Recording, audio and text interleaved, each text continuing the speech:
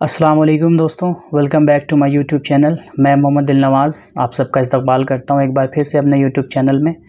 दोस्तों, मैं बैठा हुआ था और मेरे जहन में एक बात आई तो मैंने सोचा कि क्यों ना आप दोस्तों के साथ शेयर करूँ।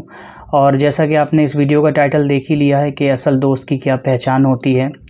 तो दोस्तों, अगर मैं अपने, अपनी बात करूँ, अपने ओपिनियन की बात करूँ और अपने एक्सपीरियंसेस के बात, की बात करूँ, जो मैंने बचपन से लेके अभी तक जो मैंने ऑब्ज़र्व किया है सोसाइटी से, दोस्तों से रिलेटिव से, रिश्तेदारों से, अपने जानने वालों से, अज़ीज़ व क़ारिब से तो दोस्तों वो यही है कि मतलब कि अगर मामलात में सामने वाला बंदा सही है, मामलात से मेरा मुराद है पैसे के लेन देन में, या फिर ज़बान में वादा खिलाफ़ी तो नहीं करता मतलब कि अगर वो वादा करता है तो क्या वो वादा पूरा करता भी है या नहीं करता?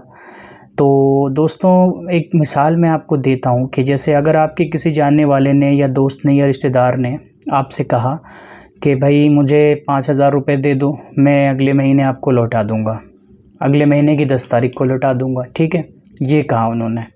अब अगले महीने की दस तारीख निकल गई, उसके अगले महीने की भी दस तारीख निकल गई, उसके अगले महीने की भी निकल गई। तो ऐसे करते करते मेरे ख्याल से एक साल भी गुजर जाए, लेकिन वो ना दे अगर पैसा। तो इसको कहते हैं मामलात में कमज़ोर इंसान और इसी को कहते हैं जो अपनी वादा खिलाफ़ी करता है, जो वादा ख़िलाफ़ होता है। तो अगर कोई शख्स आपसे वादा करके मुसीबत में पैसे ले रहा है और आप रहम खा कर उसको दे रहे हैं और वो आपकी मदद का गलत फ़ायदा उठा रहा है तो ये गलत है। वो मामलात में सही नहीं है तो इसका मतलब फिर वो इंसान सही नहीं है। चाहे वो कितना ही आपके साथ हँसी मज़ाक कर लेता हो, आपका साथ देता हो हर चीज़ में, लेकिन मैं ये पर्सनली मानता हूँ कि पैसे का जो मामला होता है ना साहब, वो बहुत बड़ा मामला होता है। अगर उसमें इंसान कच्चा है तो फिर वो दोस्ती के लायक भी नहीं है। वो इंसान कच्चा है। जैसे कि हदीस में भी है कि शहीद का हर गुना माफ़ है सिवाय कर्ज़ के। मतलब अगर कोई अल्लाह की राह में लड़ता हुआ मर जाए, मारा जाए, शहीद हो जाए, वो शहीद कहलाता है यकीनन।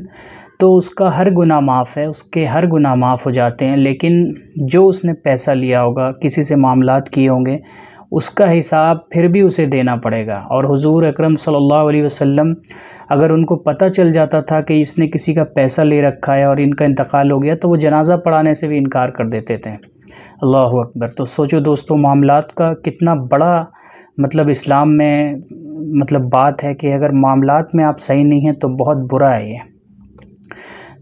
बस यही है कि मैंने यही ऑब्ज़र्व किया है आज तक सोसाइटी से, बचपन से लेके आज तक, जितना भी मैं बड़ा हुआ हूँ, लोगों से मिला हूँ।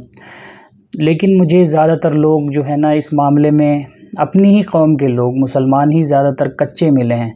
वादा करते हैं कि भाई अगले महीने में इस तारीख को पैसे दे दूँगा और एक साल भी निकल जाता है, फिर भी उसे एहसास नहीं। हालाँकि उसका सारा काम चल रहा है, सारे काम वो अपने कर रहे हैं, वो घूम भी रहा है, वो हर काम कर रहा है एक्स वाई जेड कोई भी हो, लेकिन उसे ये तौफीक नहीं होगी कि वो आपके पैसे लौटा दे।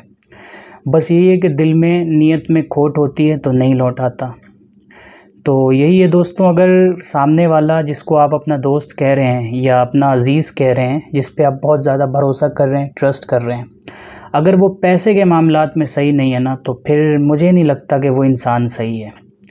बाकी आप कमेंट्स में बताइए कि मेरी बात आपको कैसी लगी। मैं ये इस वीडियो के थ्रू नहीं मैसेज देना चाह रहा लोगों को, ये मैसेज नहीं कन्वे करना चाह रहा कि ऐसे लोगों से आप ताल्लुकात ही ख़त्म कर दें। लेकिन आप सतर्क तो रहें, आप होशियार तो हो जाएँ ऐसे लोगों से।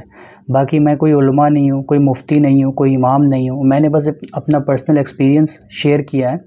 और ये जो हदीस थी वो मैंने आप लोगों से शेयर किया है दोस्तों। तो अगर मैं कुछ गलत भी बोल गया हूँ तो उसके लिए भी मैं माज़रत चाहता हूँ।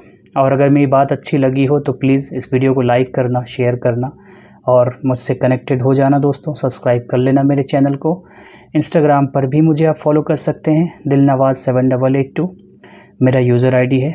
अस्सलाम वालेकुम वरहमतुल्लाहि वबरकातुहू।